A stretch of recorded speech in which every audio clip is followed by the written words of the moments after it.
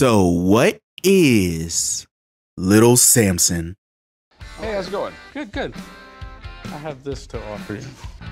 And this is. This is the earliest sticker sealed Little Samson. Nintendo game. That's pretty amazing. You ever look at a list of the most expensive games ever and wonder, how in the hell is this worth that much? New and unsealed retro games in this age are understandable for being pricey. Kids in the past would get a new game and literally rip the packaging to shreds to get to the cartridge. Loose expensive games, however, are an entirely separate thing. Between special editions, small productions, and other such factors, some retro games keep or even increase their value as the years go on. One such product, Little Samson on the NES. So why is this piece of metal and plastic more expensive than a lot of people's monthly rent? Well, let's find out.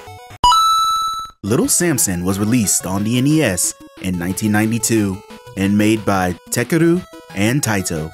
A side-scrolling platformer, most oftenly compared to Mega Man, Little Samson is an NES hidden gem that is known not so much because of its gameplay, but for its collectability. But that doesn't mean that the gameplay isn't fun or notable. In fact, I would argue that the gameplay is varied enough to help it stand out in the sea of Mega Man inspired games.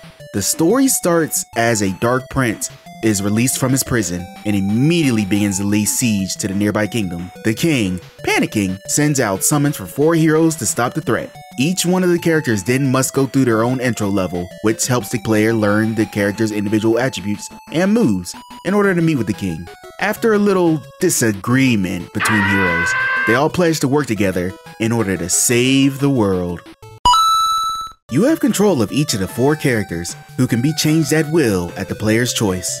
Each have their own individual health bar, though overall they share lives. The characters include Little Samson, a human boy who can jump far, climb walls, and shoot bells to attack. Kakita, a dragon who can fly and breathe fire. Gom, a golem who moves slow but can tank attacks and hit the hardest in all four directions. And KO, a mouse who is fragile but moves quickly and climbs walls and can fit in small spaces that the others can't go, along with the ability to drop bombs. These differences help make Little Samson as a whole stand out, as you can switch characters to best suit the challenge the stage is presenting you. Need to get past an obnoxious jumping section?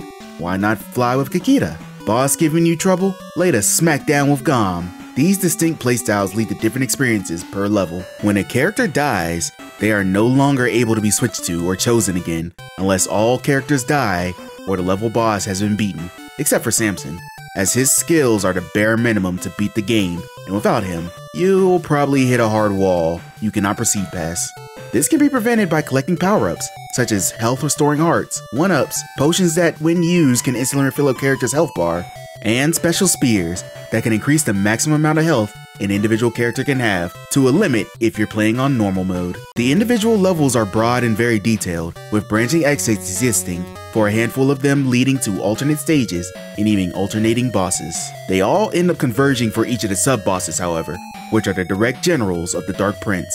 These characters have two phases, with a normal form and a monster form at the ready, which can lead to some unfortunate experiences when your main fighter Gom gets defeated on the first phase of the boss and now you're left with Samson and Glass Cannon KO for a Giant Dragon. But overall, the challenge keeps the game fun, and the flexibility in stage and character choice makes this game a rather versatile experience that you most likely will not own physically on your NES unless you get a bootleg.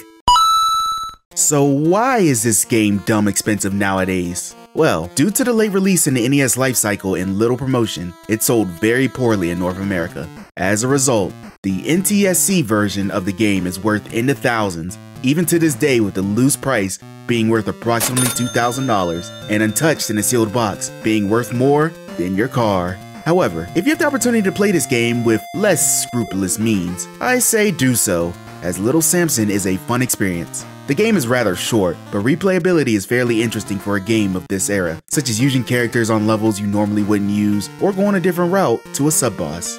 Such a shame that this game was initially ignored, as the game becoming popular then would probably lead to less people shilling out house payments for it now.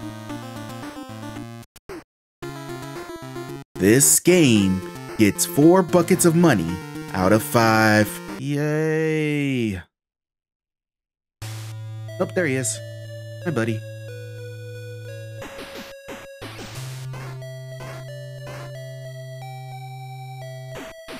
Did we do it? We did it. Yeah.